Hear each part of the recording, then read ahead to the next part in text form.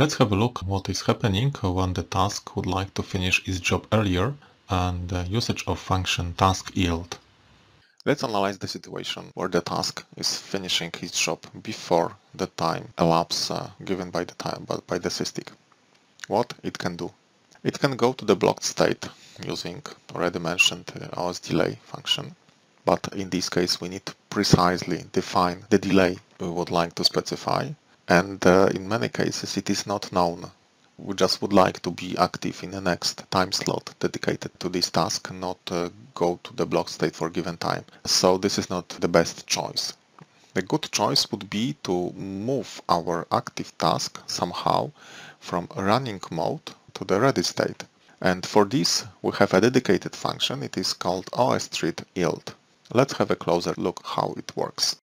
Yield function, it is used to end the task activities once the job is done. And uh, we don't want to wait for tick, nor we don't want to make the next iteration of our task body function. And uh, the effect of this function is to move the active task from run mode to the ready mode and trigger the pendsv interrupt to switch the context to the next task from ready list. It makes sense uh, if you have few tasks on the same priority level, otherwise the yielded task will be executed again as uh, the task with the highest priority. So let's analyze the situation like on below picture. We've got two tasks, task 2 and task 1 on the same priority. Task 1 is, uh, let's say, executing its code and uh, it's finishing before the tick time. And so it is calling osThread yield. osThread yield is uh, triggering pendsv software interrupt to switch the context from task 1 to an another one from the ready list. So in this case task 2. Task 2 starts its execution and please have a look that it's interrupted by the SysTick when the tick time elapses. And then SysTick is calling again pendsv and selecting the next task from the ready list, which is again task 1. So there is one disadvantage of this yield function. Disadvantage is that the next task, which would be selected by the scheduler, will have to its disposal only the remaining part of the tick time, which is not always the desired amount of time. So please remember about this this is really important, maybe not limitation, but uh, argument to think over whether it is uh, good to call the yield function from the active task. Let's have a closer look on osThread yield API function step by step. So osThread yield function, it is coming from CMSIS OS v2 and is calling task yield function from FreeRTOS API. This task yield function is uh, calling port yield, which is defined in portmacro.h file. And this function triggers pendsv interrupt to request a context switch to the next task from the ready list. Below we can see the example. It is a version for IAR compiler. At the beginning we are setting the bit pendsv just to trigger the pendsv and we are using two instruction barriers to be sure that the complete setting of the bit will be done before the execution of the next instruction. So this is how it is done step by step.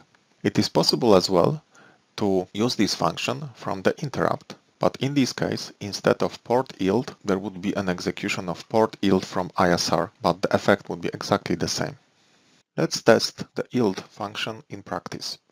So please come back to the previous exercise Let's start from the CubeMX perspective or STM32 CubeMX uh, application. Please select the FreeRTOS configuration button and please go to the tasks and queues. Within tasks and queues, please unify the priority level for both of the tasks, task 1 and task 2. It can be OS priority normal value. Then please uh, generate the code and uh, come back to main.c file. Within main.c file, we will modify the body functions for both tasks. Within task 1, we will remove everything within the while for, for endless loop. We will keep only the task underscore action 1 and we will add osThread yield function after it. Within start task 2 function, we will keep within the infinite loop only task action with argument 2. Then let's compile the code and start a debug session. As a result, we should see the following situation. At the beginning, task 1 would be executed, so we can see the task action 1, and then it will go immediately to the ready state, giving the space for the remaining time within its uh, assigned 1 millisecond for task 2. Assuming that our MCU is really fast, we can expect that within this 1 millisecond, more than once we can execute the task action. In such a case, we can see on the screen that there would be 1, then few times would be 2, because uh, task 2 would be executed continuously. Its endless loop would be executed continuously till the end of the 1 millisecond time. And then after it, we will see again 1 because there would be a SysTick which would call the switch of the context from task 2 to task 1. So we could see that uh, there would be much more execution, much more time dedicated for task 2 than task 1 because task 1 would resign from its uh, assigned time to task 2 as uh, it doesn't need to spend complete 1 millisecond for its operation. But of course it depends on the code which is located within the endless loop and uh, in case uh, there is much more coding within this loop, the final effect could be different. Please check it on your site. So at the beginning we can see that task 2 is executing many many many times and then from time to time we can see task 1. The explanation for this is the following. Within our code we have specified the time slice for each task uh, for 1 millisecond. Uh, and within this 1 millisecond the task is executing the code from this endless loop.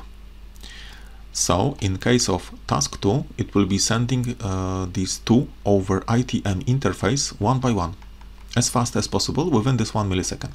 This is why we can see a lot of, uh, let's say, sign of life from task 2 and as um, task 1 is uh, sending only once the, the its its uh, its data and then it is uh, uh, going immediately to ready state we can see from time to time only uh, the sign of life from uh, task uh, task 1 so the effect is visible but please remember that yield function should be used among the tasks with the same priority. So if you would like to block somehow or to finish earlier of uh, let's say the, the, the job of the task with higher priority better use OS delay instead which would put higher priority task to the blocked state.